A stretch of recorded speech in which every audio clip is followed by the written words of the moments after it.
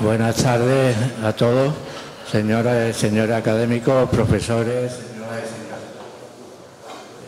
señores. Es un honor y un placer darle la bienvenida a la mesa redonda o coloquio sobre cambio climático y sus efectos en la agricultura malagueña, el caso de los cultivos subtropicales.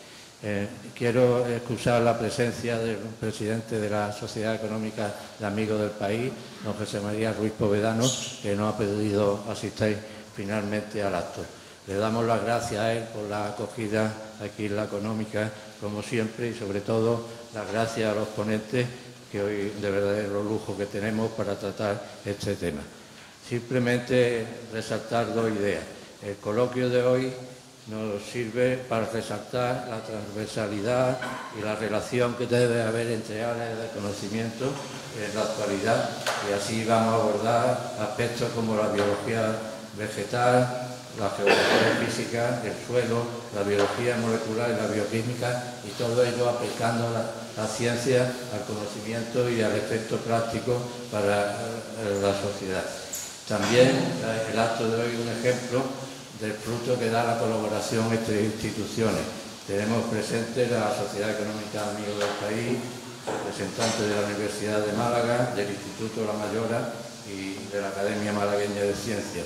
Y dentro de ella, los coordinadores de dos secciones, aunque todas podían estar relacionadas con el tema, como son las ciencias naturales y como es el territorio del medio ambiente como el profesor Heredia Bayona va a presentar a los, a los ponentes, yo simplemente darle las gracias a todos por su asistencia y seguro que vamos a disfrutar de un acto excelente. a todos y todas esta tarde, yo diría esta hermosa tarde, que esta lluvia, el sonido de esta lluvia realmente es bonito, realmente es cautivador sin duda, y lo echábamos de menos. Además el tema, todos sabemos del tema del que vamos a intentar hablar, el cual puede ser el moderador, en esta sesión académica, como bien ha dicho eh, Fernando Orellana, creo que el tema no, necesita presentación, en absoluto necesita presentación, en el sentido de como tema. Especialmente todos sabemos que en las últimas semanas, los últimos meses, pues ha proliferado una cantidad de eventos a nivel de nuestra provincia, sobre todo en Málaga Capital, de reuniones, de informes, de mesas redondas, etcétera, etcétera, pues todo relacionado con el tema que nos ocupa, con el tema sobre todo de la sequía y, por qué no, también decirlo con la relación con, los cultivos de frutos subtropicales. Eh, quizás, como dicen algunos, pues todo este tipo de actividades pues quizás hayan llegado un poquito tarde, en el sentido que estamos inmersos en el tema que ya, que saben, pero bueno, creo que vale la pena esta tarde pues, hacer una reflexión adicional, además de la mano pues, de dos, dos científicos expertos en lo que es el título que todos están viendo en la, en la, pantalla. Les voy a hacer una brevísima presentación de nuestros invitados. A mi está el profesor José Damián Ruiz Sinoga, él es catedrático, eh, creo que de Ecología Física, correcto, de la Universidad de Málaga. Fue vicerrector de Coordinación y Planificación también de la Universidad de Málaga y presidente de la Junta Rectora del Parque Natural de la Sierra de la Nieve entre el año 1998 y el año 2001. Es académico de número de la Academia Malagueña de Ciencias, la que es coordinador de la sección de Territorio y Medio Ambiente. Es director del Instituto Universitario de Hábitat, Territorio y Digitalización. Especialista en análisis de procesos, riesgos y vulnerabilidades territoriales en el marco del cambio local a diferentes escalas, entre las que destacaría en la optimización del recurso hídrico mediante técnicas experimentales y control hidrológico de suelo. Ha participado y participa en diferentes proyectos competitivos de investigación y cooperación en los ámbitos autonómico, nacional y europeo y autor de numerosas publicaciones científicas. A mi izquierda está el doctor Ignacio Maza, el doctor en Biología Vegetal por la Universidad de California y es en la actualidad profesor de investigación del Consejo Superior de Investigación Científica, trabajando en el Instituto de Horticultura Subtropical y Mediterránea La Mayora ha coordinado numerosos proyectos de investigación nacionales e internacionales y contratos con el sector privado relacionados con estudios de diversidad genética, caracterización y conservación de germoplasma y biología reproductiva en frutas, en frutales perdón, tropicales y de clima templado. He invitado frecuentemente como conferenciante por entidades públicas y privadas de numerosos países editor de varias revistas científicas y ha recibido premios internacionales de gran categoría como el Hans Berensky Foundation de Sudáfrica en el año 2013, a la vez que es miembro honorario de la American Botanical Society de los Estados Unidos desde el año 2017. Muy bien, bienvenidos a los dos y muchísimas gracias por, participar en este coloquio que queremos pretendemos que sea lo más flexible que, podamos. Yo tengo aquí algunas cuestiones que sigan simplemente del street y bueno, aunque algunas van más dirigidas a uno que otro, pero evidentemente podéis intervenir en el momento en que lo consideréis oportuno. Empezar por lo que voy a decir es casi un tópico, pero vamos a arrancar de alguna forma. Por cierto, se me ha olvidado decir, vamos a intentar estar como de coloquio aproximadamente una hora y después dedicar una hora y cuarto, una hora y veinte perdón, los 20 minutos que añado pues a preguntas por parte del público. Como bien tengo escrito por aquí, siempre los mayores, nuestros mayores, nos dicen que siempre ha habido sequías. Pero esta situación que estamos teniendo, evidentemente todos lo achacan a una consecuencia del cambio climático.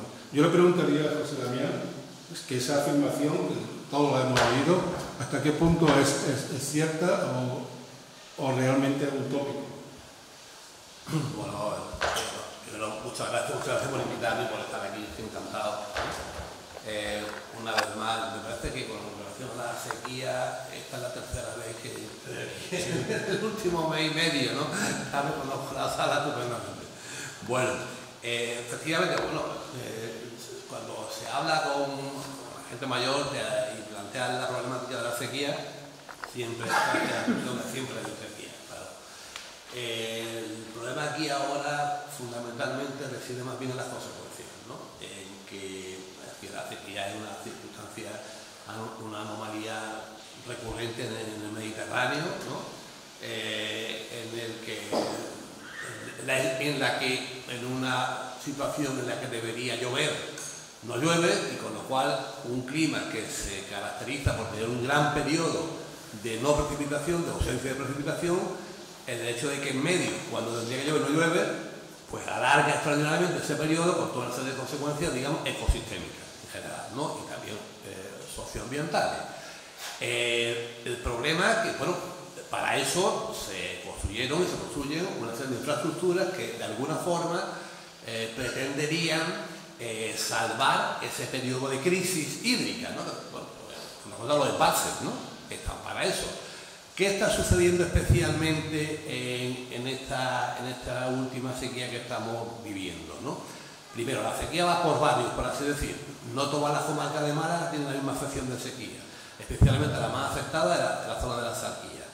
La segunda, si comparamos el volumen de la lámina de agua, la situación de la lámina de agua con sequías anteriores, nos podemos dar cuenta que está la lámina de agua bastante más baja de lo que debiera estar en relación a la ausencia de precipitación. Con lo cual, eh, efectivamente, hay más evapotranspiración como dinámica de cambio climático. Bien, de acuerdo. Pero en el balance general lo que nos damos cuenta es que nos falta agua. Podríamos decir, aquí nos falta agua. ¿Dónde está ese agua que nos falta? Pues probablemente porque hemos tirado más de la cuenta del embalse cuando no debiéramos haber tirado tanto del embalse. ¿Por qué hemos tirado más de la cuenta del embalse? Pues probablemente porque eh, en todo ese periodo se ha producido, se ha disparado la superficie de unos cultivos demandantes de agua. Me quedo ahí, ¿no? Ni muy demandantes, demandantes de agua, porque el otro día eh, decíamos más o menos que al fin y al cabo, y puede ser, eh, los cultivos tropicales demandaban más o menos la misma cantidad de agua que los, que los eh, cítricos, ¿no? Bueno, ya entraremos en. Bien, está claro que parece que de alguna forma tenemos que aprender a convivir con periodos de sequía, evidentemente situaciones de déficit hídrico. Ahora la pregunta que viene especialmente ahora, también va dirigida, aquí no se habrá venido ahora a, Iñaki. Málaga, evidentemente la provincia está afectada en sus dos grandes motores económicos por, este, por el tema que nos ocupa hablamos de turismo y hablamos de agricultura, en este caso el cultivo de, de subtropicales. Son dos cosas distintas, pero evidentemente el origen del problema es el mismo. ¿Significaría esto, y quizás se un poco por conclusiones, pero no, pero creo que vale la pena abordarlo al principio, significaría esto que tenemos que establecer límites al desarrollo y he, hablado de dos motores como el turismo, y la agricultura de subtropicales. ¿Cuál es tu primera aproximación? Sí, bueno, lo primero, nada, muchas gracias por la invitación, por estar aquí con todos vosotros eh, hoy. Y sí, efectivamente, cuando analizamos lo que ha pasado en los últimos años, y también en relación con lo que comentaba José Damián, eh, yo creo que se, ha hecho una, evolución de la agricultura en la comarca, sobre todo en la Axarquía, a espaldas un poco del cambio climático. O sea, que teníamos indicios y sabíamos desde hace años que la situación eh, que nos esperaba era una situación de sequías cada vez más, más largas de duración y más, y más extremas. Y entonces posiblemente lo que nos ha hecho ha sido una buena gestión de los recursos hídricos y de plantar en función del agua disponible y no, y no al revés. ¿no? Muchas veces lo que se ha hecho ha sido eh, plantar en zonas en las que no había eh, suficiente agua y después demandar eh, que llegase agua a, esas, a esas zonas. ¿no? Y por tanto, yo creo que sí, yo creo que lo que hay que hacer es una, una buena gestión de los recursos hídricos, de los diferentes, que eso luego podemos hablar con más detalle de, de, de cuáles tenemos disponibles y hacer dimensionar eh, las hectáreas de, cultivo de cultivos subtropicales y otros cultivos en función del agua disponible en un contexto de cambio climático y nunca, y nunca al revés. En la, en la axarquía malagueña tenemos ahora creo que unas 14.000 hectáreas de frutales tropicales, fundamentalmente eh, aguacate con 9.000 y unas 5.000 de, de, mango. Entonces, igual es momento de plantearse si realmente las 14.000 hectáreas son productivas o muy productivas o si hay eh, posibilidad de igual reducir el número de, hectáreas que estamos cultivando. Eso ha pasado en otros países. ¿eh? Por ejemplo, el cultivo del aguacate es frecuente en, Israel, pero en Israel, en todo el país, en total, hay unas 12.000 hectáreas de, aguacate, comparadas con las 20.000 que hay en, España. O sea que, bueno, es un debate a abrir. Y luego también eh, lo que comentabas del consumo por parte de la, población. Claro, estamos aumentando la población en las zonas costeras en todo el Mediterráneo y además también con una población flotante que viene del, turismo, con un consumo enorme también de, agua. Entonces, al final lo que está pasando es que tenemos unos recursos limitados y tenemos una sobreexplotación de esos recursos. Sí, claro, en la misma línea de lo planteado Iñaki, decir, eh, se está vendiendo ¿no? que es buena noticia que vengan un millón de turistas más cada año y de hecho recientemente vimos en la prensa que el año pasado habían llegado 33,9 millones de turistas al aeropuerto de Málaga, eh, o en total, no, no, en total. Y que el, logro para el año siguiente, para este año, sería que llegásemos a 35, ¿no? Eso ya, eso fue hace un mes y medio, ¿no? De la misma manera que se plantea como un éxito, como el oro verde de la sarquía, el aguacate, ¿no? Bien, de acuerdo evidentemente hay una serie de familias y, que están viviendo esas dos actividades, eso está claro, ¿no? Pero claro, de alguna manera hay un recurso que está, que está limitando. Después podemos ver cómo logramos incrementar ese recurso, ya sea desalación, desadobración, regeneración, ya veremos, optimización de riego, bla, bla, bla. Podremos, pero lo primero de todo es, es ponerle la raya al campo, por así decirlo, es decir, cuál es el potencial que tenemos de este recurso y a partir de ahí decidamos si lo que queremos es regar, cómo queremos regar o cómo, es decir, planificar la gestión, como tú bien has planteado. Y yo creo que ahí, pues sorprendentemente, nos ha vuelto a pillar una situación de sequía sobre una eh, coyuntural cíclica, sobre una situación de, déficit hídrico estructural de la que yo creo que difícilmente vamos a salir. ¿eh? Bien, pues entramos casi de lleno ya con algunos datos numéricos y intentar ver estrategias o discutir estrategias. Eh, según he, recogido, y además me lo han confirmado porque lo he preguntado antes de empezar el coloquio para, para que los datos fueran exactos, la agricultura consume entre el 70 y el 80% de los recursos hídricos, aunque es un dato probablemente genérico a nivel nacional. ¿no? El caso de subtropicales se dice, o por lo menos creo que es cierta el dato, que una hectárea puede llegar a consumir 8.000 metros cúbicos de agua, supongo por año, ¿no? Quiero, quiero pensar por año. La pregunta está clara. Eh, aparte de, pensar si eso es sostenible o no, cosa que ya tenemos claro que evidentemente parece que no, ¿hay estrategias adaptativas para controlar dicha demanda que parece fuerte? Sí, a ver, bueno, eh, primero, eh, lo, que ocurre también es que el, uso del agua en, cultivos subtropicales generalmente no tiene en cuenta la productividad del cultivo, sino que se usa la misma cantidad de agua en diferentes eh, fincas, algunas poco productivas y otras muy productivas. Por tanto, la huella hídrica final, que tiene que ser en función de los kilos de fruta producidos, es muy variable. Entonces, tú puedes utilizar 8.000 metros cúbicos por hectárea y producir 5.000 kilos por hectárea o producir 15.000 kilos por hectárea. tu huella hídrica va a ser muy distinta. En otros países, un ejemplo ha sido Israel, otra vez, lo que, se ha, hecho ha sido una reconversión de las hectáreas poco productivas y decirles, mira, lo siento, pero ustedes no pueden cultivar aguacate porque su rendimiento es muy bajo, pues bien porque la finca está situada en un lugar poco apropiado o por lo, tiene un mal manejo o por lo que sea. ¿no? Y entonces lo que han conseguido ha sido aumentar la productividad por hectárea, reduciendo el número de hectáreas, quitando las hectáreas poco productivas. Eh, volviendo a la, cantidad de agua, eh, realmente esos 8.000 metros cúbicos por hectárea y, año, yo creo que se pueden reducir bastante. De hecho, la dotación que, que permite la Junta de Andalucía son 5.300 metros cúbicos por hectárea y año para subtropicales. Y el objetivo que nosotros nos planteamos en la Mayora es intentar conseguir una buena productividad con unas 5.000, unos 5.000 metros cúbicos por hectárea y, año, que es muy parecido a lo que se utiliza para, cítricos, efectivamente. ¿no? Entonces, yo creo que, el futuro pasa por, optimizar realmente ese, uso del agua, eh, regar más o menos con unos 5.000 metros cúbicos por hectárea y, año y efectivamente aumentar las productividades por, por hectáreas para reducir la huella hídrica por kilogramo de fruta, de fruta producida, ¿no? que creo que es el, el parámetro que realmente tenemos que considerar. No, yo coincido, plenamente. Aquí lo que hay es que ir en la misma línea, efectivamente, es decir, eh, reducir la huella hídrica, porque hay muchas hectáreas de aguacate que están, están cultivando en unas condiciones realmente eh, ínfimas, ¿no? Y que además han pasado a, ser cultivadas por aguacate cuando eh, hace 15 años eran matorral. Eran matorral, pero llegó la ola del aguacate y aprovechando la maquinaria que había de la, de la autovía y demás, pues rápidamente lo desmontaba. Eso, eso lo hemos visto nosotros, cuando hemos tenido varios proyectos que nos obligaba a ir allí a, hacer muestreos del suelo y hemos estado esperando detrás de una excavadora a lo mejor durante 25 o 30 minutos, una hora, porque la excavadora iba a su paso lentamente por la zarquía, por las carreteritas de la zarquía, porque iba a desmontar, nunca mejor dicho, toda una ladera y a los tres días pasábamos de nuevo por allí y la ladera ya estaba completamente desmochada. ¿no?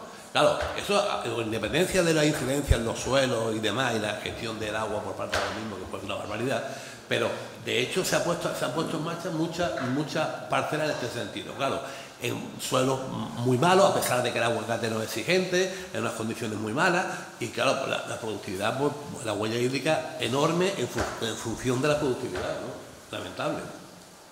El caso, me ha recordado lo que, lo que acaba de decir, que se está extendiendo incluso a zonas distintas que las arquillas. Eh, yo vivo en, Alorín de la Torre y conozco bien los alrededores, sobre todo la parte interior de, de Alorín de la Torre, porque paseo mucho por allí desde hace muchos años y ha cambiado, en bastantes kilómetros, ha cambiado completamente la perspectiva de y cómo es la parte física de, de, de los caminos y de las carreteritas que hay allí. Y con sorpresa veo cultivo de aguacate, cultivo de aguacate en pendientes tremendas, y no sé la verdad cómo se recogen esos frutos por ahí, cosa que hace 10, 15 años no existía en absoluto. Evidentemente estamos hablando ya del recurso hídrico que viene de la Sierra de Mijas, probablemente de la Sierra de Cártama, que es donde se supone que llega allí el agua. Me permito además traer, antes de pasar a otra cuestión, eh, no es una anécdota, es un hecho eh, de un pequeño artículo, un corto artículo que salió publicado en el, País hace algo menos de un mes, el 16 de febrero de, este mismo año, el cual la autora, con bastante sarcasmo, diría yo, mucho sarcasmo y sentido crítico, denunciaba la imparable proliferación de este cultivo y de otros subtropicales. No sé si se lo habéis leído. Se llamaba el artículo La lección del aguacate.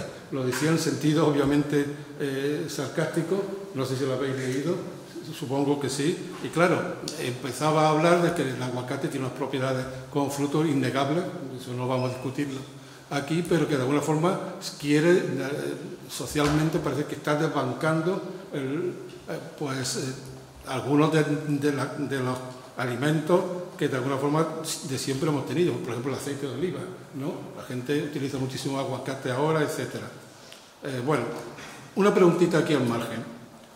Por supuesto que las administraciones públicas deberían de poner coto a esto. Yo ahí soy un ignorante completo. ¿Cómo una administración pública, estoy hablando a nivel local o a nivel autonómico, ¿eh? puede poner coto a todo esto? Es decir, una administración pública, un, ayuntamiento puede decir, señores, aquí no se puede cultivar eh, este tipo de, cultivos, de plantas, o no, lo ignoro, pero vale la pena que lo sepamos, probablemente. Yo creo que sí, que una administración pública, precisamente su deber es la gestión de, mediante planificación de un recurso, en este caso como el agua. Es decir, aquí lo que estamos hablando no tanto de aguacate, puede ser, sino del agua que hay para aguacate.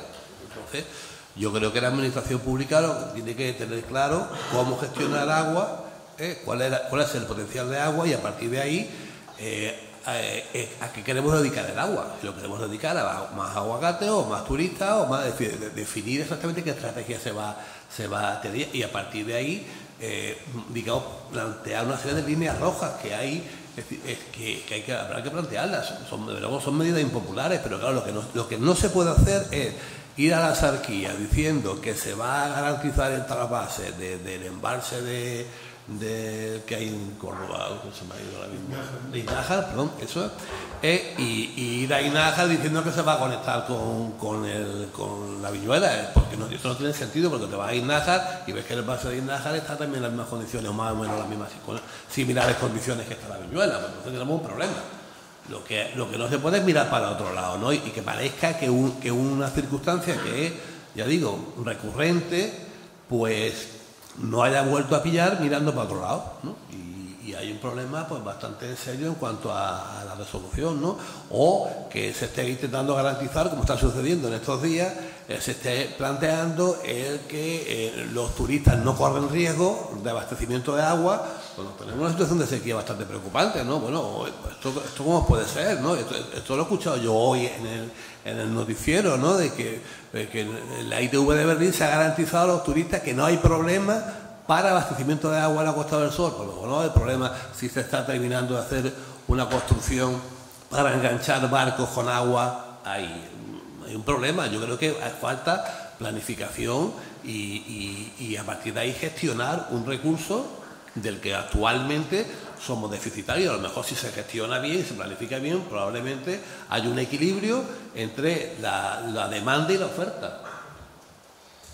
Sí, totalmente de acuerdo. ¿no? El agua es un, es un, bien, es un bien público ¿no? y si hacemos un cálculo, eh, tenemos 14.000 hectáreas de cultivos tropicales en la Axarquía con una dotación de 5.300 metros cúbicos por hectárea y año, hacen falta pues, unos 70 hectómetros cúbicos de, de agua para regar esas 14.000 hectáreas los, tenemos o, no los tenemos, ¿no? porque si no los tenemos, pues algo habrá que hacer para reducir el número de hectáreas o bien aumentar la disponibilidad de agua, pero eh, los números son claros, haría, falta unos 70 hectómetros cúbicos anuales solo para, riego de subtropicales en la, en, la, Y luego sí que está en una expansión de, estos cultivos hacia otras regiones, no solamente de, la provincia de Málaga, sino también de, Andalucía, por ejemplo, en las provincias de, Cádiz y, y de Huelva, que en algunos casos también están siendo tensionados eh, por plantaciones, además en aquellos lugares más intensivas incluso que en la exarquía, porque en la exarquía realmente la mayoría son propiedades pequeñas, de una, dos, tres hectáreas, pero las nuevas plantaciones que están haciendo en Huelva o Cádiz son ya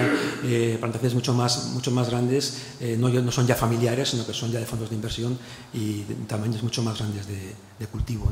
Entonces, bueno, yo creo que esa gestión tiene que venir también por parte de la Administración y poner, poner límite o bien a buscar soluciones para eh, aportar una cantidad de agua eh, adicional. Bien, vayamos ya al ámbito algo más científico, no porque los datos no sean científicos, evidentemente, sino más de tu especialidad, por llamarlo de otra forma. ¿Cómo se podría avanzar cultivos subtropicales hacia un menor consumo? ¿Qué se, podría, qué se puede hacer o qué se está haciendo? Pues es, un tema complejo y multidisciplinar. ¿no? Entonces, Evidentemente, en primer lugar, por supuesto, mejorar la gestión del agua, eso está, está, clarísimo. Hasta ahora el riego en subtropicales se ha basado básicamente en aguas superficiales del pantano de la Viñuela en la Axarquía y de, y de aguas de, pozos. No se ha utilizado aguas regeneradas, se está empezando a utilizar ahora, pero aguas regeneradas eh, un poco, en fin, eh, bastante complicadas de uso para subtropicales por eh, la alta cantidad que tienen de, sales y otros compuestos. Entonces ahí hay que trabajar bastante también en, mejorar esa, depuración de aguas y luego en el futuro pues utilizar aguas desalinizadas de, agua marina. ¿no? O sea, primero trabajar en la, en la, gestión de que haya un aporte suficiente de agua para las hectáreas que queramos cultivar. En segundo lugar, se ha avanzado mucho mucho en los últimos años es en, optimizar los sistemas de riego.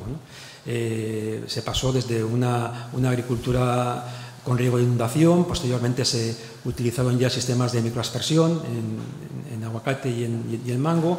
En los últimos años ya pues, se está utilizando eh, un riego por goteo y ahora ya pues, un riego por goteo de muy bajo caudal, eh, que realmente está, está, resultando en un ahorro eh, del uso del agua en riego de, de subtropicales. Pues ahí se ha avanzado bastante.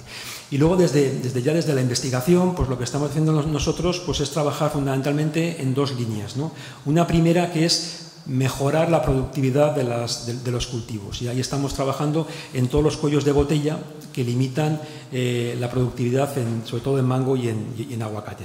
Desde la polinización, que es un tema clave en, aguacate que muchas veces se olvida por parte de los agricultores, no se hace un buen manejo de la polinización para tener eh, un mayor porcentaje de flores que reciban polen y produzcan fruta, hasta un buen manejo de, la poda, eh, en fin, de sistemas de, control de plagas y enfermedades, etcétera. ¿no? O sea, mejorar el manejo de las plantaciones para eh, poder aumentar la productividad. Y ya a más medio largo plazo, pues eh, una herramienta es desarrollar variedades y portainjertos que sean tolerantes bien a la falta de agua, bien al riego con aguas de peor calidad, que eso eh, también se está trabajando bastante. Eh, ha ocurrido que, en la saquía malagueña, como el agua que se disponía era de alta calidad, eh, lo que se ha plantado de aguacate ha sido sobre portainjertos mexicanos, de raza mexicana, que son más tolerantes a, las bajas temperaturas, pero son muy sensibles a la salinidad. Entonces tenemos toda la saquía malagueña plantada con aguacate sobre portainjertos muy poco tolerantes a sales en el agua de riego. Entonces, si ahora estamos pasando a una situación en la que tenemos eh, unas aguas de peor calidad, posiblemente una estrategia que habrá que hacer de aquí a los próximos años es intentar ir cambiando estos árboles de aguacate y reemplazarlos por árboles injertados sobre injertos más tolerantes a, salinidad y también más tolerantes a, la falta de agua. me quedo contigo de nuevo añadiendo una pregunta adicional. Eh, por tu experiencia, porque sé que viajas mucho y estás muy bien informado, de tu trabajo además sobre todo esto. ¿Ha habido antecedentes de esta situación en algún país? Bueno, sí, cuando, cuando comparamos la huella hídrica y el consumo de, agua del aguacate en España con otros países, estamos hablando antes de 5.000... Sí, pero hablábamos de 5.000 metros cúbicos por hectárea en España, pero es que en Perú, que es el mayor exportador de aguacate a Europa, estamos hablando de 15.000 metros cúbicos de agua por hectárea y año, porque se cultiva en la zona desértica costera. ¿no? Entonces, ahí ha habido trasvases, se lleva el, agua desde los Andes, en algunos casos por trasvases de la cuenca amazónica por debajo de la cordillera para regar en las zonas costeras, o sea que eh, Ahí hay un problema de, falta de agua, evidentemente, porque es una zona desértica. En el caso de Chile también, porque el cultivo del aguacate eh, no puede llevarse a cabo eh, muy al sur por bajas temperaturas, tienen que cultivarlo en zonas al norte de Santiago de Chile, donde hay también tensiones de, falta de, agua para, riego. En Israel, yo creo que prácticamente el 100% del riego para aguacate procede de aguas eh, depuradas, no hay, no hay uso de agua fresca para para, para riego. La desalación fundamentalmente es para consumo humano y luego lo depuran, pero bueno. Y en el caso de California, pues también ha habido problemas eh, serios de, falta de agua para estos cultivos. no en los últimos dos años, que ha llovido bastante por el fenómeno del niño en el Pacífico, pero sí que estructuralmente también en California hay una situación muy parecida a la, nuestra de, falta de, agua. No, no, quiero cerrar esto sin, sin, sin hacer también un comentario de que, claro, estamos en el único lugar en Europa continental en el que podemos producir aguacates a nivel comercial. Entonces, es una oportunidad de cultivarlos y tener un, cultivo de alto valor añadido, pero siempre que se haga una buena gestión de los recursos hídricos disponibles. Sí, hay una cuestión eh, que es importante, vinculada también con la optimización del recurso hídrico y del riego, y es que eh, tradicionalmente el agricultor considera que compone el mero hecho de regar, de poner en marcha el sistema de riego por goteo, ya está contribuyendo decididamente en esa optimización de recursos hídricos. ¿no? y, se puede hacer mucho más. se puede hacer mucho más en la, siguiente línea. Es decir, en hidrología del suelo hay un concepto clave que es el de agua útil, agua útil para la vegetación. Agua útil para la vegetación es, voy a explicar un, un símil fácil de entender, si cogemos una esponja y la metemos en un barreño de agua y la sacamos la esponja, la esponja en primer lugar va a empezar a chorrear, después va a empezar a gotear continuamente, después va a ir paseando la frecuencia de las gotas hasta que llegue un momento que la esponja ya no gotea, ¿vale? Pero todos los que estamos aquí sabemos que la esponja tiene agua. ¿Vale? Bien, pues ese traducido al lenguaje de, suelos, ¿eh?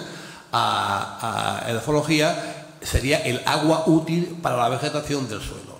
Es decir, hay un porcentaje de agua de la que se nutre la vegetación. Y eso se puede medir y se puede controlar perfectamente, pero de ahora, de hace ya 25 o 30 años. Hay sondas que, estén pinchados el suelo y ahora, y ahora ya lo que hemos conseguido es estar aquí, por ejemplo, y que nos estén mandando, si nos metemos, todas las sondas que yo tengo, tenemos el grupo mío de investigación instaladas por ahí, incluida muchas esta en la mayora, que nos diga exactamente qué está pasando con este frente de lluvia que nos está llegando. Si pinchamos dentro de un rato, ya tendremos la, la mayora eh, más o menos los suelos de la mayora en torno al 35 40% de humedad. ¿no? Bien, una situación magnífica. Pero hay un concepto que es el agua útil que necesite, por lo tanto podemos controlar. Y justamente eh, podemos determinar entre eh, esa cantidad de agua útil justo cuando necesita los sistemas radiculares del aguacate, cuándo hay que proporcionarle agua y dónde hay que proporcionarle agua y durante cuánto tiempo. Como bien ha dicho Iñaki, se ha planteado, se está planteando continuamente el tema de la, sucesión de pequeños riegos, de muchos riegos de poca cantidad, ¿no? Mejor que otra, otra técnica que se ha estado empleando durante mucho tiempo, que eran riegos de mucho, mucho más abundantes. Claro, cuando tú vas a, te mueves por allí y estás viendo fincas en donde en torno al árbol hay una mancha de humedad, claramente hay que decirle al propietario, al agricultor, oiga, aunque a pesar de que usted cree que está regando con riego por goteo y que está optimizado tal, que sepa usted que está despilfarrando agua, porque si hay mancha de humedad quiere decir que el suelo está muy por encima del contenido de humedad, de la, la necesidad que tiene realmente el aguacate. Y el aguacate encima no lo va a agradecer, que es lo peor, porque el aguacate, el sistema radicular del aguacate evita que haya situaciones de hipoxia, es decir, que cuando el, agua, en el suelo está demasiado saturado, se busca la vida, el sistema radicular y, vas andando por allí, vas tropezando con raíces que están en superficie precisamente porque están evitando que un suelo excesivamente saturado de agua, ¿no? Totalmente. Eh, vamos a incidir algo más lo del riego, aunque prácticamente os haya adelantado algunas de, de las notas que tenía yo aquí preparadas, ¿no? Hablamos del agua regenerada. Creo que ha indicado que por su contenido salino eh, se hace realmente poco útil, vamos a decir, o se usa poco. Realmente, ¿en qué influye este agua a la hora del de, cultivo? ¿Cuál es la parte negativa de usar ese tipo de agua? para que lo sepamos todos. Claro, el, agua regenerada eh, bueno, es una es, una parte de, las aguas que se pueden utilizar para, riego y, como decía, en, Israel pues es la parte fundamental de agua para riego en cultivos tropicales. Lo que pasa que que el, agua, el agua regenerada eh, al final tiene una serie de compuestos que llegan de lo que nosotros echamos en nuestras casas, en, en la cocina o en los cuartos de baño. Y al final podemos tener un agua regenerada que puede ser de mejor o peor calidad. Y ahí estamos hablando de que hay antibióticos que utilizamos en las casas, estamos hablando de que hay eh, detergentes eh, que tienen pues, eh, boratos y demás, estamos hablando de hormonas, de, en fin, de un montón de compuestos, incluso metales pesados, ¿no? que pueden estar presentes en ese, en ese agua depurada. evidentemente, lo, que, lo, que, lo, que, lo, que, habría que hacer es estudiar la calidad de ese, de ese agua regenerada y ver qué mezclas tenemos que hacer con agua de mejor calidad para que tengamos un agua apropiada para, para, estos cultivos.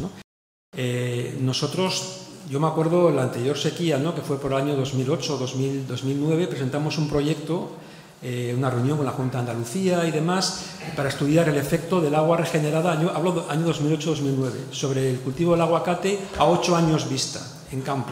Entonces estaba a punto de aprobarse el proyecto y bueno, empezó a llover como hoy y llovió durante varios días y varios días y ahí se, se acabó el problema. y habría habido ya datos de ocho años de riego con agua regenerada en aguacate, como planteamos, y no, no, se hizo porque eh, parece que terminó el, problema en aquel momento. Lo que sí se, se, ha visto en otros países, y por ejemplo ocurre en Israel y en California, es que muchas veces en cultivos leñosos, como aguacate o cítricos, al cabo de 10, 12, 14 años tienes problemas de productividad y se achaca a que pueda haber cambios en la estructura del suelo, en la microbiota del suelo o incluso acumulación de compuestos en las plantas leñosas. ese problema no ocurre cuando utilizas el agua regenerada directamente para cultivos anuales, no se cambias el sustrato cada año, porque entonces tú ya eliminas el sustrato, lo debes regar con agua regenerada y no hay problemas de acumulación ni de cambios de estructura del suelo. En cambio, en frutales eh, que se cultivan al aire libre en el campo, pues eso puede ocurrir.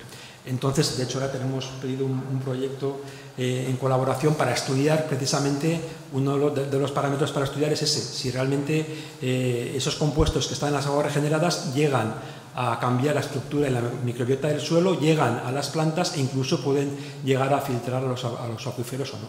Y de esa manera, teniendo esa información, se puede decidir cuál es la mejor mezcla de aguas que debe realizar para no afectar al suelo ni a, la planta y mantener la productividad. Sí, está claro como dos conclusiones parciales que hace falta pedagogía, como lo que decía antes José Damián, pedagogía directamente al agricultor, claro, por supuesto, y hace falta investigación también. Claro, que no se pare porque empiece a llover, porque siempre acaba por llover, ¿no? Eso está claro, pero creo que debemos de sacar las cosas realmente interesantes y buenas de, la época de crisis, ¿no? Eh, utilizar agua regenerada supongo que es más cara que el agua actual que sale del embalse quiero suponer, es así, ¿no? Que, ¿Cuánto es de cara? A ver, es que ese es otro punto, bueno, pues evidentemente no puedo hablar ahora, pero es que yo creo que históricamente el precio del agua del embalse ha sido ridículamente bajo. O sea, no había mucho incentivo para, para ahorrar agua. Estamos hablando de precios entre 5 y 10 céntimos por metro cúbico de, de agua. Entonces, ahora estamos hablando de, de, de, precios que pueden ser de 50, 60 céntimos en aguas regeneradas, incluso puede ser algo, algo más en aguas en aguas desalinizadas de, agua marina. ¿no? Pero lo que yo creo que era, que era realmente muy bajo era el precio que se estaba pagando del agua del embalse cuando había agua en el embalse, claro. Creo que estamos hablando de un, todo el tiempo de un recurso escaso, ¿no? Entonces, claro, eh, a lo mejor hay que establecer un, un umbral, ¿no? A partir del momento hasta, hasta el momento en el que hasta el punto en el que el agua es un derecho derecho a consumo por parte de la ciudadanía y umbral a partir del momento de ahí donde ya el agua forma parte de un, de un negocio de un sistema comercial ¿no? y, había que actuar en consecuencia ¿no? de tal manera que eh, yo creo que el agua de luego el, agua de, del embalse se ha estado yo creo que regalando claramente en una zona en donde, insisto, el agua no nos sobra, no nos viene sobrando el agua, ¿no? De hace ya tiempo, no de ahora, de hace ya tiempo. Y, después, por supuesto, pues el agua regenerada, en donde supongo que tendrá que haber una, una inversión por osmosis, ¿no? Porque parece que lo que estamos viendo nos está dando unos índices de salinidad muy altos todavía, ¿no? con lo cual no son tolerantes, unido a las especies tolerantes a la salinidad, pues también a lo mejor algunas plantas de, regeneración habrá que utilizar sistemas de osmosis inversa, ¿no? para, digamos, de alguna forma potabilizarlo. Bueno, pues eso, pues, pues, tendría que de alguna forma que revertir en, el precio del, agua, ¿no? Estamos hablando de 50 céntimos, ¿eh? metro cúbico. Entonces el agua regenerada y el agua desalada viene a equivaler más o menos su precio. Sí, yo creo que el, agua desalada... pregunta que lo hacemos muchos ciudadanos. Claro, lo que pasa es que eh, si usamos osmosis inversa, eh, energéticamente es, más caro y claro, desalinizar agua marina es mucho más caro que desalobrar agua dulce. Entonces, realmente las depuradoras que están ahora mismo eh, en funcionamiento en la exarquía no tienen sistema de osmosis inversa, sino que es un terciario de depuración. Entonces, realmente, eh, quizás el futuro tendrá que, tendrá que ir, sobre todo en, zonas en las que hay problemas de alta salinidad, en utilizar una desalobradora para, para evitar esos problemas. Pero en todo tampoco, tampoco sería la, la, panacea absoluta, porque estamos hablando de unos, unas necesidades de unos 70 hectómetros cúbicos por año, con, la, con todas las depuradoras de la comarca de la Axarquía, incluyendo la, el Peñón del Cuervo que se está llevando ahora, o se va a empezar a llevar el agua hacia la Axarquía, creo que a, a, máximo rendimiento estamos hablando de 20 hectómetros cúbicos por año. O sea que todavía hay un déficit de 50 hectómetros cúbicos que no se cubren, o sea que no, no se podrían regar las 14.000 hectáreas con el agua regenerada disponible. Que las desaladoras son limitadas también, obviamente. ¿no? Y el, el, proyecto que hay de la desaladora que se quiere construir en la Axarquía, que es, si va todo bien será dentro de 4, 5 o 6 años, creo que el cálculo son de 25 hectómetros cúbicos, o sea por debajo, todavía estamos por debajo de lo que necesitaríamos para, para regar. ¿Quiere añadir algo? Bien, eh, vamos a cambiar un poquito de, de, de, de, música, por decirlo de alguna forma, de, melodía. Y quizás sea meternos un, quizás en un pequeño charco, pero creo que vale la pena porque al fin y al cabo esta mañana han entrevistado en la cadena SER, creo recordar, ¿no? me llamaron a mí primero al respecto y bueno, y la verdad que suscitó el tema este eh, me estaba entrevistando esta mañana temprano de la cadena SER respecto a este tema, que es lo que íbamos a hablar aquí y demás. Creo que lo han recogido bien, además, en el audio este que me han enviado, dentro de lo que cabe, lo han recogido bien. Pero hay algo que a mí especialmente me preocupa y creo que, que me consta también que a muchos de los que estamos aquí, que conozco, eh, pues le puede preocupar. Vamos a ver, son dos temas. Uno relacionado con lo que se suele llamar, y los diarios, los periódicos lo están llamando, una especie de ecologismo falso que existe en las redes sociales. ¿A qué llamamos ecologismo falso? ¿O a qué se denomina? Pues realmente pues hacer publicidad de determinados frutos, de determinados alimentos, de determinadas, digamos, formas de vida, donde parece que, el que no toma un aguacate al día parece que es, vamos, que, que va a tener una salud malísima y que, y que jamás va a ser una persona eh, 100%, estoy diciéndolo realmente mal, ¿no? En este sentido, pero ese ecologismo falso que hay, yo creo que, que existe, se debe a una nefasta, creo yo, o un ejemplo malísimo de divulgación científica. Es decir, la divulgación científica te coge aquellas noticias eh, que solamente te pone tres o cuatro palabras que sabes que va a llegar al público, pero que probablemente eh, no sean absolutamente ciertas y, y ocultan muchísima verdad sobre, sobre todo esto. Obviamente estamos hablando de agua, estamos hablando de frutos subtropicales. Creo que los profesionales que de alguna forma os dedicáis alguna forma nos dedicamos, a mi trabajo en IHSM, a temas como los que estamos viendo, creo que deberíamos hacer un esfuerzo que no hemos hecho hasta ahora en que esa divulgación científica que se preste sea, esté bien encaminada, sea rigurosa, sea crítica y fuera de falsas expectativas que yo creo que a, la persona normal le llega y vamos, si no consume un aguacate al día parece que, que le va a dar algo, ¿no? Por decirlo mal y pronto, ¿no? ¿Qué opináis de esto? Bueno, en el caso, en el caso del, del aguacate, eh, todo, ha habido un boom del, del consumo del aguacate a, a, nivel mundial. Bueno, el aguacate Hass, nivel, una variedad única, que es la que domina el mercado, el mercado mundial. Y, y gran parte de, de, ello yo creo que se debe a, a, que ha habido estudios científicos en Estados Unidos. En Estados Unidos, cuando se importa aguacate, Uh, hay una asociación que se llama la Haas Avocado Board que lo que hace es cobrar un royalty por cada kilogramo de aguacate que se importa a Estados Unidos. Y eso se usa eh, de dos maneras, ese dinero. Uno para promoción del aguacate y otro para hacer estudios de investigación de, la, de las bondades del aguacate a nivel, a nivel médico. Y claro, es, es, saludable comer aguacate como es saludable comer lechugas. O sea, que si haces un estudio invirtiendo esa cantidad de dinero en estudiar otros, otros alimentos, seguramente te, te va a salir también que son alimentos muy, muy saludables. Entonces, Sí que hay eh, datos que apuntan a que el aguacate tiene compuestos saludables en su, composición, como hay en otros, en, otros eh, alimentos. ¿no? Pero de ahí se ha llegado, efectivamente, yo creo, a, a que sea un producto muy de moda, eh, que ha aumentado muchísimo el mercado, el mercado mundial de este cultivo y también que, eso puede ocurrir que en el futuro no sea así. O sea, que aquí todo lo que se ha planteado a nivel en los países exportadores, fundamentalmente Perú, Chile, eh, México y, Colombia, en el caso de, América, y luego también en España y otros, y otros países, es pensando en un crecimiento exponencial del, del consumo del aguacate a nivel europeo y norteamericano. Lo que se está viendo en los últimos dos, tres años es que ese, crecimiento exponencial no es ya tanto, sino que está parando el crecimiento del consumo del, del, aguacate y eso puede causar problemas en los países que han invertido muchísimo en, plantar aguacates para la exportación, porque al final eso puede hacer que haya de lugar una tensión en los, en los precios. ¿no? O sea que, por un lado, eh, efectivamente, hay que, hay que tener en cuenta que tiene compuestos saludables, pero en muchas ocasiones porque se ha hecho una cantidad enorme de, estudios para demostrarlo, y por otro lado, que puede ser una moda pasajera. El consumo del aguacate no sea en el futuro tan alto como el que existe ahora. A nivel europeo, eh, España eh, está produciendo como el 8% del consumo europeo de, de aguacate. Tenemos unas 20.000 hectáreas, con unos 60.000, 80.000 toneladas de, aguacates y eso representa el 8% del consumo europeo. O sea que Europa está importando muchísimo eh, aguacate de otros países, fundamentalmente de, Perú y, Chile. De todas formas, creo que hay un exceso de, mala información, precisamente, y ahí tenemos, pienso yo, gran parte de, no voy a decir la palabra culpa, no me gusta, pero tenemos responsabilidad también los que trabajamos punto de vista de investigación en todo esto. ¿no?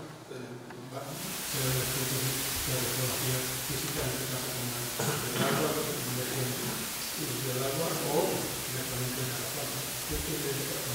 Yo, más que, no, más que desde el punto de vista de, del manejo del agua, aquí eh, yo veo más que, más que un falso ecologismo una, una moda, si nos situamos en, la comarca de la Sarquía, lo que más bien planteo es una, necesidad, es decir, una comarca que está desde el punto de vista agrícola, salvo lo que sería estrictamente Las Vegas, ¿no? las, zonas las zonas bajas hasta hace 20 años, pues muy empobrecida, que tuvo su boom con la viticultura, pero se abandonan los viñedos en un momento determinado y, hay, y había mucha superficie, mucho monte, que está exactamente igual que cuando el, agricultor decidió abandonar el viñedo hace más de 100 años y empieza a, por las circunstancias climáticas, porque fijémonos que tenemos un clima que la sarquía tiene un clima que en todos los aspectos tiene un carácter subtropical, excepto en el del agua.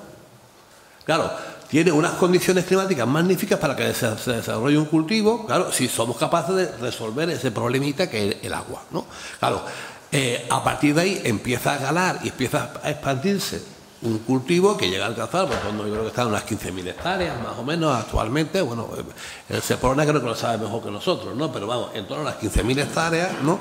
Y eh, que empieza a darle vitalidad a un espacio empobrecido en toda una dinámica en donde también estamos viendo, como en otras comarcas de Málaga, el reto demográfico está empapándose constantemente, porque sin ir más lejos, vayámonos al Valle del Genal, ¿no? con una pérdida de población continua, o incluso algunos propios municipios de la Sarquía que están perdiendo población. Con lo cual, en, un, cultivo que es capaz de, de dinamizar un importante territorio. Pues, pues estamos hablando, o sea, si la estructura media de la propiedad allí, en cuanto a la explotación de aguacate, está en una con cinco hectáreas, dos hectáreas, pues estamos hablando a lo mejor que están viviendo siete u ocho mil familias de eso, ¿no? Claro, ¿Esto qué conduce? Pues conduce a una, situación, digamos, de, relax y de potenciación de, ese cultivo, que en la mayor parte de los casos yo creo que sale para la exportación, ¿eh? según dicen desde luego la mayor parte del aguacate de la sarquía sale para exportar. El, 80%. El 80% de la producción de aguacate de España se exporta al mercado europeo. Bien, otro tema que quería, que quería plantear ya casi para terminar, podemos dejar unos buenos minutos a los oyentes, a los, que estéis asistiendo a este, este, coloquio. Es también una especie de pequeño chasco, por llamarle de, otro modo. Si hemos concluido, o me gustaría que, concluyéramos de esta última parte que hemos comentado, de que efectivamente es responsabilidad nuestra o parte de la responsabilidad de que debemos hacer una buena divulgación científica, una explicación científica y una buena pedagogía a la sociedad y no abandonarlo en manos de, personas que no entiendan bien, incluso intervenir directamente ahí, empezando quizás por las mismas instituciones eh, académicas que muchas veces hacen una, divulgación científica poco crítica desde mi punto de vista. Vamos a ver, esto es, extrapolar ya el problema no solo a los cultivos tropicales, ni siquiera tampoco a la a la responsabilidad de manejar el agua o cómo controlarla, sino algo más genérico. creo que fue un filósofo de la ciencia del siglo pasado, Feyeramba, que nos dijo una cosa que realmente a mí siempre me ha llamado la atención. Nos dijo que la ciencia en general no tenía por qué ser, ni se preocupaba por ser, ni neutra, ni útil, ni siquiera divertida. Al contrario de lo que dicen muchos divulgadores, la ciencia es divertida y tal. A la ciencia le da igual ser divertida, útil incluso o ser neutra. Pero nunca excluía, la posibilidad, este autor, este filósofo, de que la ciencia y sus científicos debían de implicarse, por supuesto, en la política de la sociedad de su tiempo. Implicarse en la política no dedicarse a hacer política directamente, sino denunciar adecuadamente en el momento oportuno algo en el cual un grupo de científicos especialistas son capaces de decir algo. Tenemos un antecedente mm, de libro, que es la Agencia de la ONU del Cambio Climático, que a finales de los 70 comenzaron, evidentemente, a hacer denuncias era un grupito muy pequeño, hacer denuncias diciendo que el posible cambio climático al que estaríamos avezados, etcétera, etcétera. Y ya sabemos que le hacemos caso y ya sabemos que montan pues, esas conferencias cada dos, tres años, etcétera. Incluso investigadores de gran categoría como el gran biólogo Edward, Edward Wilson pues también lo ha remitido en sus libros en los últimos 20 años. La pregunta que yo me gustaría decir es si realmente los científicos de ahora hay muchos aquí sentados, también entre, el público, realmente tenemos muy claro que tenemos que actuar sobre la política de nuestra sociedad, es decir, denunciando o de alguna forma haciendo, haciendo también responsables de algo que podríamos hacer algo más de lo que estamos haciendo hoy día. En temas como el agua, en temas por supuesto como los frutos tropicales, en otros temas como la inteligencia artificial, por irme ya a otros temas muy, muy diversos, y en otros temas trascendentes, por, supuesto que lo hay. Me gustaría saber vuestra, vuestra opinión. Creo que hacemos poco, francamente, porque además cuando lo hacemos me da la sensación que lo hacemos tarde y por supuesto mucho más tarde reacciona la, la comunidad política, ¿no? Eso está claro.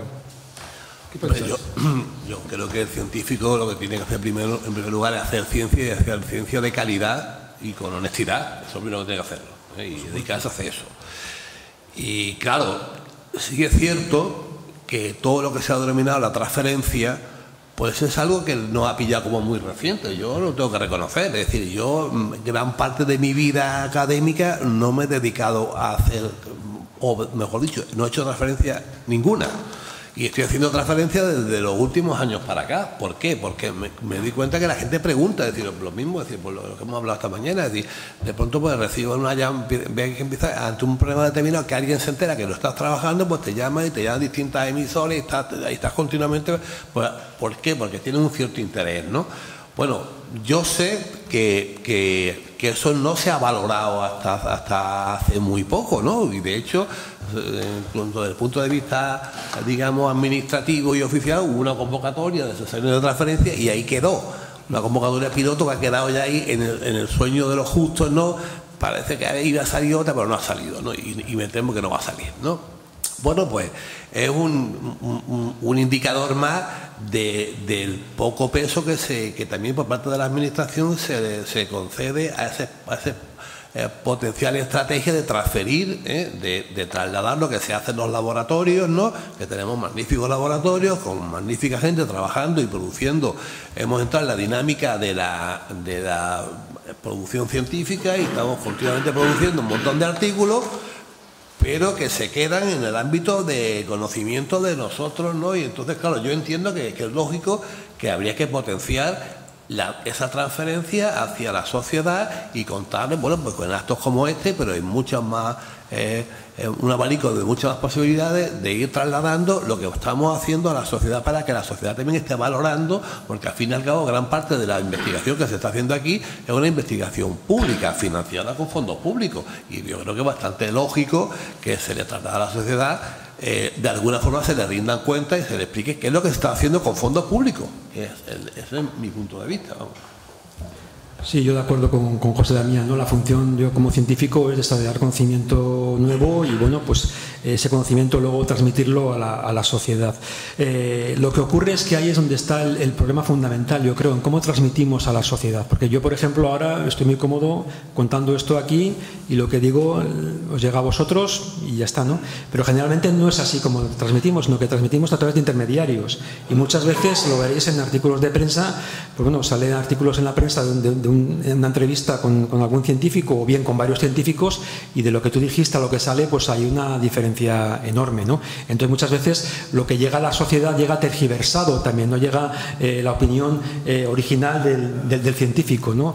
Y claro, a ti me cuesta mucho desarrollar eh, un trabajo de investigación, tener el conocimiento ya desarrollado y luego transferir eso para que luego al final quede, quede de alguna manera tergiversado por parte del intermediario que, hace esa, esa información. Entonces, para mí es muy importante la divulgación, yo cada vez lo, es verdad, cada vez lo hago más y lo hago en, más, en más medios, pero siempre me, queda muchas veces la, espina de que, hombre, lo que ha salido no es lo que yo he dicho realmente, ¿no? sino que de alguna manera pues eh, hay una intención por parte de, la persona que lo, que lo transmite pues de, cambiar algunas de las, las, cosas que se dicen. Muy bien, hace prácticamente una hora que comenzamos, está bien, vamos bien de, tiempo. Quiero que llegue el momento, salvo que queráis añadir alguna cosa, algún, detalle más, de dar la palabra a algunos de los, de los presentes. Creo que el coloquio es, esto, lo que hablamos los por supuesto. Seguro que hay más de alguna cuestión aquí al fondo, por favor. Ah, no, solo, quería, quería comentar una cosa, que aquí hemos hablado del, uso del agua para, para, regadío, pero realmente en un contexto como el que tenemos actualmente de sequía crónica, los cultivos que realmente van a sufrir más son los cultivos de secano. O sea, eh, los cultivos de, secano en los que no tienes posibilidad de, hacer un aporte de, agua y que dependen solamente del agua de lluvia, son los que más sufren en condiciones como la que tenemos actualmente. Si vamos a la Axarquía y vemos... Eh, los olivos eh, centenarios o los almendros que hay todavía en las, en las sierras, pues vemos que están en un estado lamentable. Ya por no hablar de las, de las uvas pasas de Málaga, que yo no sé cuánto tiempo les va a quedar de, cultivo en, secano. ¿no? O sea, que, no nos olvidemos que en un contexto como este de cambio climático y de sequías extremas, los cultivos de secano eh, sufren aún más que los de regadío porque no hay posibilidad de hacerles aporte de agua. muy buena matización porque en, esa línea, eh, que no se nos olvide, claro, estamos focalizando los subtropicales, pero eh, hay una estrategia supuestamente de adaptación a la dinámica de cambio climático que está consistiendo en eh, poner en regadío cultivos que tradicionalmente son de secanos, por ejemplo el olivar. Entonces, claro, es una extraordinaria contradicción, porque se está planteando como estrategia cuando a lo mejor uno pensaba que lo que hacía era, ¿qué digo yo? Pues eh, asegurar las cosechas, tal, no, no, no, directamente mm, puesta regadío, con lo cual eh, se está generando un, círculo de retroalimentación negativo, ¿no? En este caso. Sí, le quería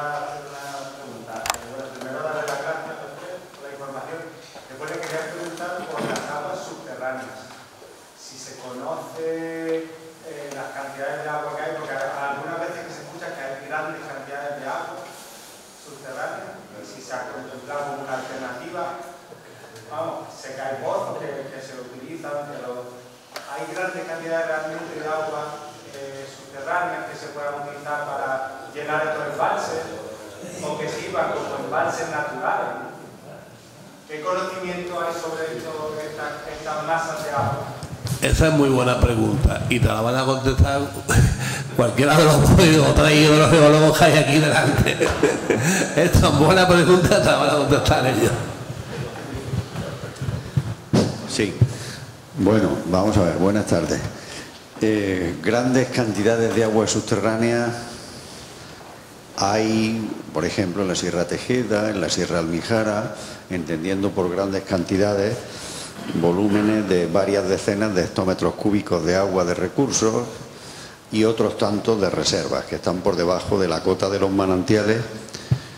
Entonces, esos son los volúmenes de agua que existen en la Sierra Tejeda Almijara. En el río Vélez, en estos momentos, la mayor parte del acuífero está desaturado, ¿eh?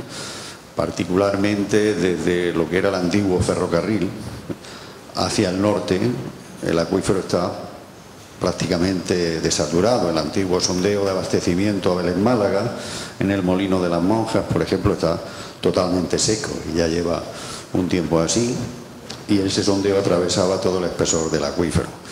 Entonces los grandes volúmenes de agua subterránea pues hay que relativizarlos, tienen su importancia, tienen su interés y por supuesto tienen su aprovechamiento. Pero no creo que sea bueno generar expectativas para el regadío de un cultivo, en este caso como el aguacate, eh, a expensas de las aguas subterráneas de estos acuíferos. Creo que realmente conviene controlar la demanda. ¿eh? es un tema que se ha tocado en el debate, y con esto enlazo quizá más con la temática del debate, es un tema que en algún momento ha salido, el control de la demanda. Realmente eh, hemos focalizado esta tarde en el cultivo de subtropicales, que claramente por la intervención de los expertos eh, ha quedado claro que es un cultivo que tiene una demanda de agua elevada en una zona en la que climáticamente no contamos con recursos suficientes. Entonces estamos ciertamente cultivando unos árboles que tienen un gran rendimiento desde el punto de vista de los frutos que generan y la capacidad que eso tiene de generar eh, bienestar o recursos económicos en, la zona, pero indudablemente es a costa de eh, un aprovechamiento de recursos de los que no disponemos. El aumento de la demanda para regadío tiene que ser mucho más controlado de lo que ha sido en el pasado. Realmente la posibilidad de aumentar los cultivos subtropicales en la zona, pues si no es nula, es prácticamente nula, a no ser que se generen nuevos recursos de agua, evidentemente. Y bueno, por ahí los recursos de agua regenerada que están yendo ya y que previsiblemente van a aumentar ¿eh? conforme pase el tiempo, con la edad de peñón del cuerpo, que aportará también sus recursos a la zona de la sarquía, Evidentemente habrá que diluir y tratar esa agua de forma que sea aprovechable en los, cultivos, aún a pesar de los efectos que pueda tener, como el doctor Ormaza decía hace un momento, en los suelos y en la continuidad de esos cultivos en el tiempo. Pero no hemos metido en el debate una parte de la demanda que no es menos importante, y particularmente en la zona en la que estamos, ¿eh? que es el turismo. ¿Eh? y en general la población. El uso para abastecimiento urbano en toda la Costa del Sol en general es cada vez mayor. Entonces tenemos que pensar que no podemos abastecer toda la demanda, no tenemos unos recursos ilimitados. El crecimiento urbano y el crecimiento agrícola tienen que ser ordenados, tienen que ser proporcionados, tienen que estar de acuerdo con los recursos disponibles. Y eh, claro, al final los dos dependen del agua. ¿Qué queremos? Tenemos que elegir o turismo y construcción por un lado o agricultura por otro, o debemos de intentar compatibilizarlo hasta que sea posible, pero sin que se nos vaya de las manos la demanda, que es lo que está ocurriendo. Esa es la cuestión.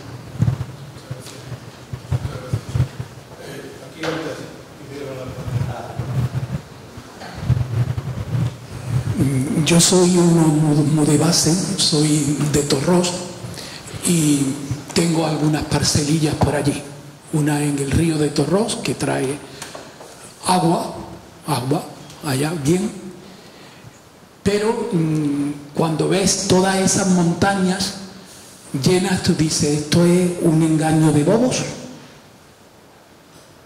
¿Hay agua para eso convertirlo en regadío?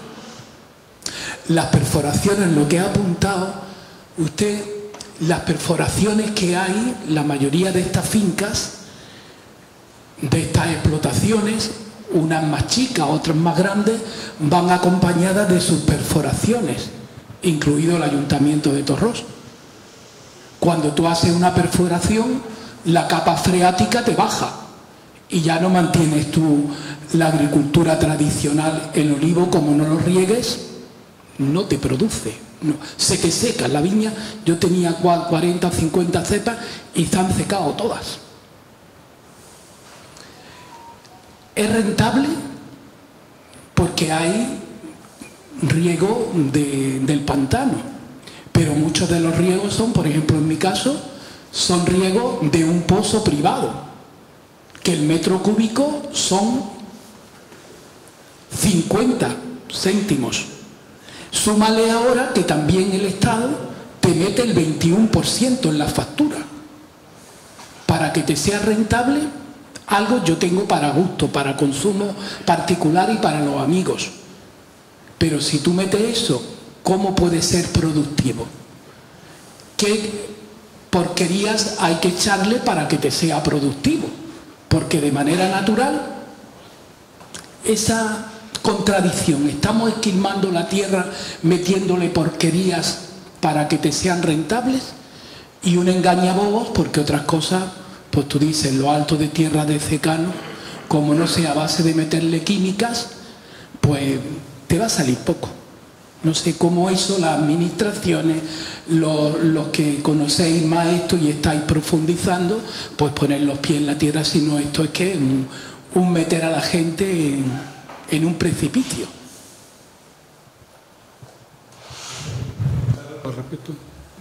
No, yo, yo, lo único que hay que ser conscientes, conscientes de que hay que internalizar los costes eh, ambientales de los cultivos también.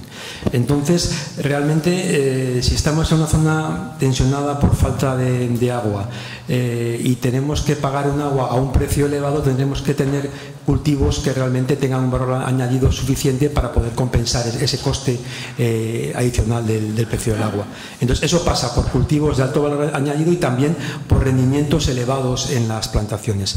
el ejemplo nuestro de la Mayora, nosotros tenemos la finca experimental en cultivo ecológico. Entonces ahí no se aplica ningún producto químico de, síntesis y los rendimientos son altos porque hacemos un buen manejo de las plantaciones. Entonces pasa por optimizar el uso del agua y también por el manejo de las plantaciones para que sean altamente productivas.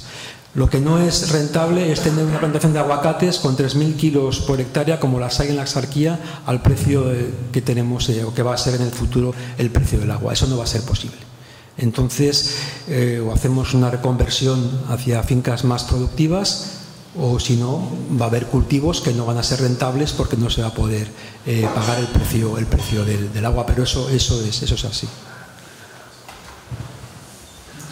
Sí, ahí, detrás. Buenas tardes. Yo quería hacer alguna puntualización. En lo de 8.000 metros cúbicos es ahora. la evapotranspiración potencial está aumentando al aumentar la evapotranspiración potencial puede aumentar un 10, un 20%, o sea que en vez de 8.000 sean 10.000 metros cúbicos por hectárea. Y así lo dicen varios informes. ¿no? Por otro lado, tenemos tres, tres, digamos, responsables de la gestión del agua. ¿no?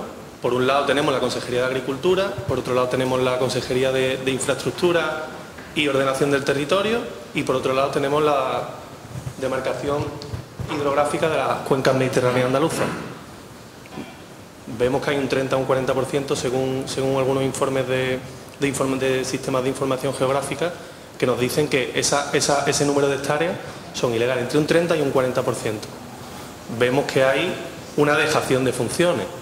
Y además, como comentaba antes, el 80% del agua va para agricultura. ¿Quién gestiona ese agua? Las comunidades regantes, que son corporaciones de derecho privado, totalmente opacas y que no, no surten información y es difícil que rindan cuenta. Y además hay muchísimos casos de corrupción. ¿no? Eso por un lado. También decíais, por otro lado, de, que el 80% se exporta. ¿no? La única agricultura rentable, podríamos decir, en Andalucía son todas las agriculturas de conflicto. Por un lado tenemos los, subtropicales, pero por otro lado tenemos la fresa en, en, Doñana y en Almería tenemos cultivos hortícolas intensivos. Y todo está generando un problema. Sin embargo, la política y aquí no somos ninguno político, o, alguno habrá seguramente, pero ¿desde dónde se puede atajar esto? ¿no? ¿Desde dónde se ataja? Porque el problema es enorme y el número de hectáreas no para de crecer. Y ahora los inversores, que son fondos de inversión, que ya están metidos en la sarquía y se están yendo a Cádiz, se van a Granada, se van a Huelva porque no hay, no hay superficie. Y también decir lo de el dato que, encontré también de 217 litros por kilo de aguacate que daba Trops en una, en una, en una plantación experimental que creo que sería duplicando marco de plantación o algo así, Iñaki. Tú me corriges si me equivoco. Y bueno, yo los datos que tengo son entre 1.500 y 2.000 litros por kilo. Y así lo hace Chile, que también tiene un clima bastante árido, así lo hace Israel. Los países más punteros en, cuanto a riego no consiguen 217 litros por kilo. Entonces, también que, desde, la parte científica desmontemos eso, ¿no? Creo que es muy importante eso y, que denunciemos también, ¿no? Antes, antes Antonio de, de la responsabilidad que tenemos los científicos. Yo creo que tenemos mucha responsabilidad, no nos podemos callar. Y cuando hay ciertos lobbies, hay fondos de inversión que están invirtiendo ahí, creo que hay que, en cierta manera, denunciarlo. Y la otra parte, y ya acabo con esto, hoy se reunía la Mesa Social del Agua de Andalucía, que reúne a grupos ecologistas, sindicatos agrarios, ¿no? Y hablan de, cómo se reduce la dotación. Si lo hacemos de forma lineal, si le quitamos un 20% al que tiene 100 hectáreas y al que tiene 10 y al que tiene una. Porque el que tiene una, si le quita el 20% del agua, ese, ese te lo va a cargar ese agricultor. Y el que tiene 100, que es justamente el que está mejor situado, le quita lo mismo. Entonces, la progresión, la reducción no puede ser lineal. Tenemos que fomentar una agricultura frente a otra. Tengo más cosas, pero no quiero, no quiero acaparar la palabra bastante. Muchísimas gracias. Muchas gracias. Bueno, sí, algunas cosas. El, dato ese de 8.000 metros cúbicos, que yo también lo tengo de una página de, de una asociación de subtropicales, eh, después por los datos que tenemos nosotros de, de la sarquía, yo creo que está, estaría más bien en la sarquía en torno a los 6.500, entre, entre 5.500 y 6.500. ¿eh? Es decir, 8.000 no está, está, más, más, reducido. ¿no? La superficie lleva razón, o sea, la superficie es que depende. ¿Cuántas hectáreas de aguacate?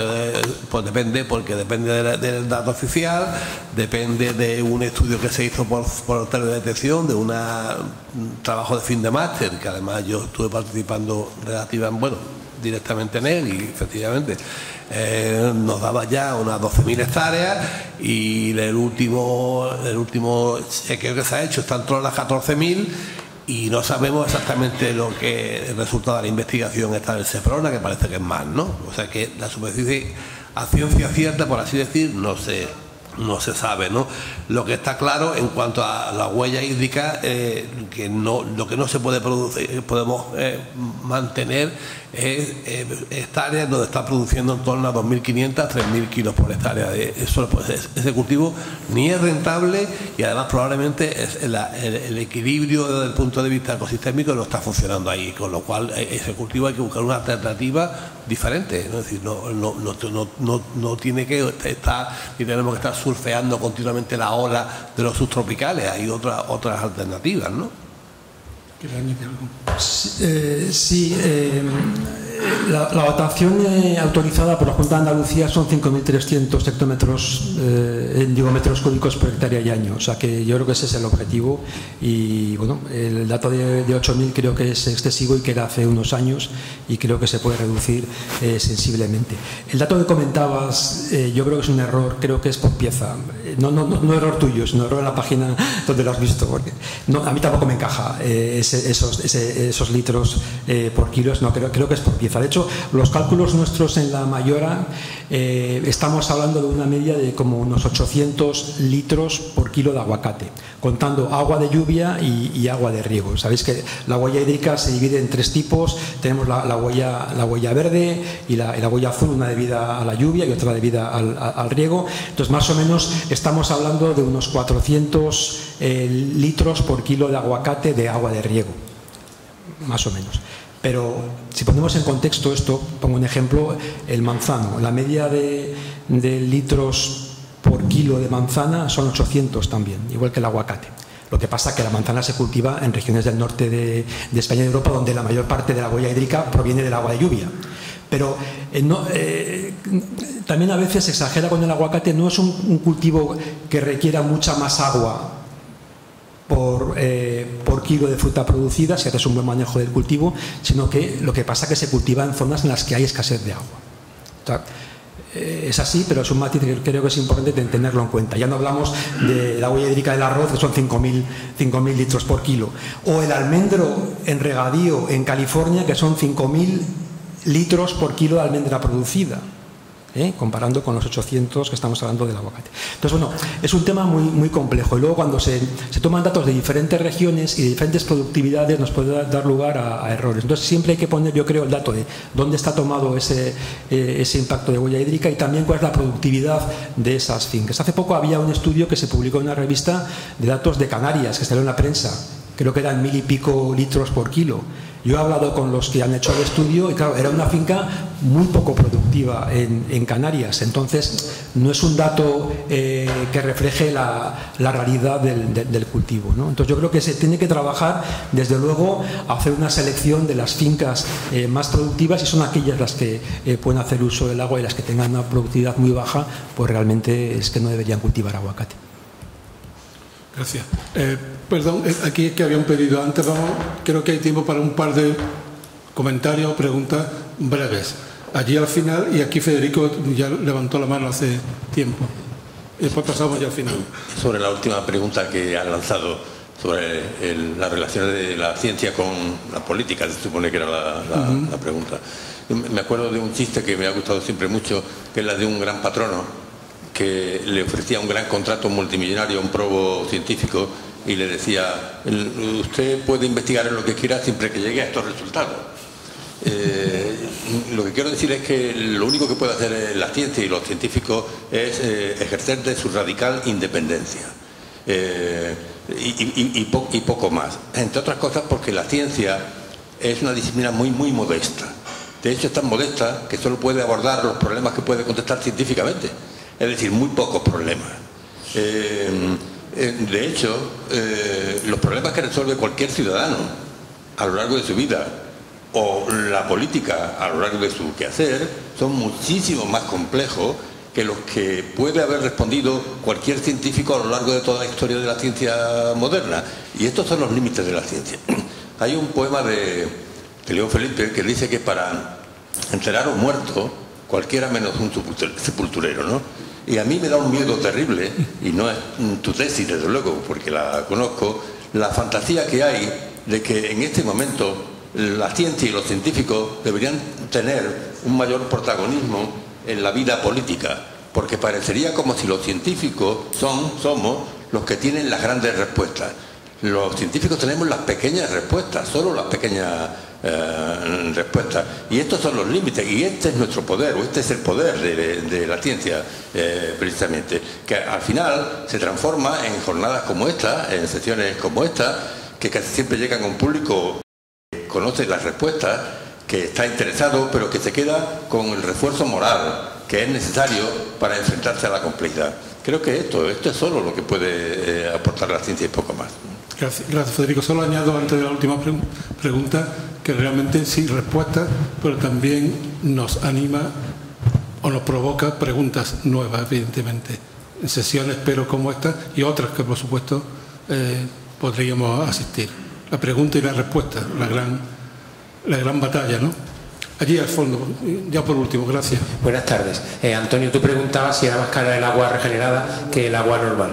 Eh, he estado trabajando en la zona de Marbella, desde Torremolino hasta Manilva, y por lo menos en aquella zona el agua normal eh, e-, era un poquito más barata que el agua regenerada, pero no se pagaba saneamiento. Es decir, el agua normal valía 0,21 euros el metro cúbico, el saneamiento de ese agua a 0,23, por lo tanto costaba 0,40 y tanto euros el metro cúbico y el agua regenerada salía a 0,25, 0,20, o sea, valía un poquito más cara pero no se cobraba saneamiento. Ese agua que va al riego no tiene ni alcantarillado de saneamiento porque se lo bebe el propio campo. Y en cuanto a lo de las desaladoras, al final eh, había un gran consumo de energía eléctrica en la desaladora, no se podía parar porque son unas tuberías muy finas que en cuanto se para eh, le entra sal y se atora y vierte mucha cantidad de sal al mar y los peces de alrededor se mueren, tenemos que pagar una, especie de impuesto que era más bien una multa por vertidos y aunque se consigue un agua desalada para el consumo humano, pero se mueren los peces de alrededor. Digo que, que sepáis que también existe un efecto. Pero vamos, la respuesta a tu pregunta, el agua regenerada es más barata que la normal, pero al no pagar saneamiento sigue siendo más barata. Simplemente aportar ese dato. Buena aclaración, muchas gracias. Bueno, solo nos queda pues agradecer a nuestros dos invitados su participación esta tarde. Creo que hemos tocado temas que probablemente sean muy desconocidos para, para algunos. Yo me voy satisfecho porque me he enterado de cosas que no sabía, a pesar de que las preguntas me las he trabajado un poco estos últimos días. Y bueno, y muchísimas gracias a todos por su asistencia, por supuesto. Muchas gracias, buenas tardes.